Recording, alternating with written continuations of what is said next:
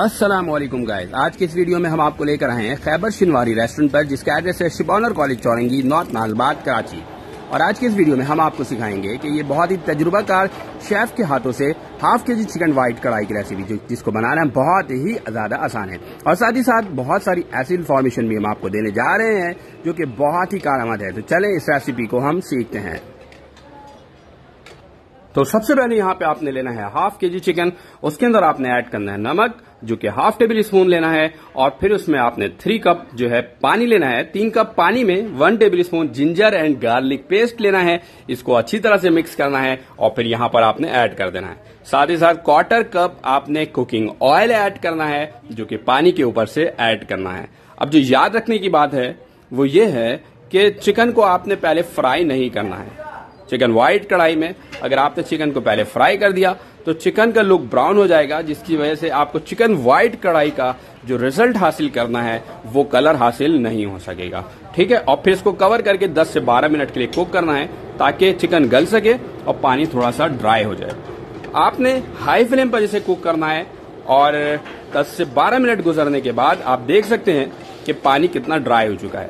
इतना जब पानी ड्राई हो जाए तो फिर आपने नेक्स्ट प्रोसेस करना है। बहुत आसान सी रेसिपी है। आप लोग इसे घर पर ज़रूर ट्राई कीजिएगा। यहाँ तक आपने हाई फ्लेम पर कुकिंग किया था। इसके बाद आपने नेक्स्ट प्रोसेस करना है।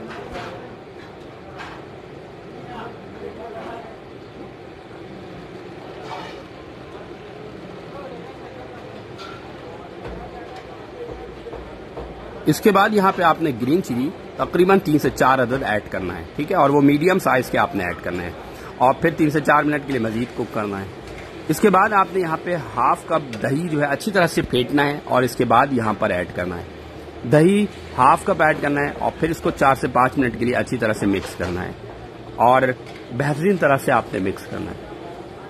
बहुत अच्छी रेसिपी है, बहुत आसान रेसिपी आप घर पर इसे ट्राई कर सकते हैं। फिर इसके बाद यहाँ पे अदरक जूलियन कटिंग ऐड करना है और बंद करना है दो से चार मिनट के लिए। दो से चार मिनट के लिए कवर करना है। अच्छा अब यहाँ पे ब्लैक पेपर यानी काली मिर्च आपने वन टी स्पून लेना है, जीरा पाउडर वन टी स्पून लेना है और हाफ़ टी स्पून आपने व्हाइट पेपर लेना है, यानी सफ़ेद मिर्च। और फिर जो है इस इस चिकन के अंदर आपने ऐड करना है, ठीक है? और अब देखें, अच्छी तरह से दही के साथ जो चिकन जो है गल चुका है। अब यहाँ पे तमाम मसाले आपने ऐड कर देने हैं, ठीक है? मसाले तमाम ऐड करने के बाद आपने जो है अच्छी तरह से तीन से चार मिनट के लिए मिक्स करना ताकि जो मसाले की टेस्ट है ना, इसके अंदर शामिल हो जाए। बहुत आसान सी रेसिपी है। बहुत ज़बरदस्त रेसिपी है। अच्छा इनके यहाँ, क्योंकि फ्लेम बहुत हाई होता है, ठीक?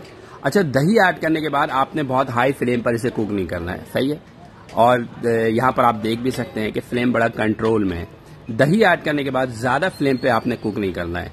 फिर इसके बाद आपने यहाँ पे ऐड करना है cream four to five tablespoon और इसको भी आपने मीडियम टू लो फ्लेम के ऊपर मिक्स करना है। ज़्यादा हाई फ्लेम के ऊपर क्रीम ऐड करने के बाद मिक्स नहीं करना है, वरना क्रीम आपके अच्छा खासा फट जाएगा। ठीक है? और एक से दो मिनट के लिए आपने मिक्स करना है। इससे ज़्यादा पकाना नहीं है क्रीम ऐड करने के बाद। तो बहुत ज़बरदस्त किस्म की जो है आपकी चिकन व्हाइट कढ़ाई तैयार हो जाएगी। हाफ़ के जी की बहुत स्पेशल रेसिपी है। फाइनल प्रेजेंटेशन में यहाँ पे आपने ग्रीन चिली मीडियम साइज़ के ऐड कर देना है एक से दो अदद, ताकि जो थोड़ा सा ग्रीन लुक इसके ऊपर आ सके। और बहुत ही ज़बरदस्त, और आँखों को बहुत अच्छा भाई। और टेस्ट तो इसका है ही बहुत ज़बरदस्त। तो गैस उम्मीद है कि ये बहुत सादी सी रेसिपी इन शेफ के हाथों की आपको बहुत पसंद आई होगी। अगर आप लोगों को हमारी रेसिपी पसंद आई हो तो हमें ज़रूर कमेंट कीजिएगा फीडबैक से ज़रूर आगे कीजिएगा। हमें दीजिए इजाज़त। एक और न्यू वीडियो के साथ एक बार फिर हम हाजिर होंगे। अल्लाह हाफिज़।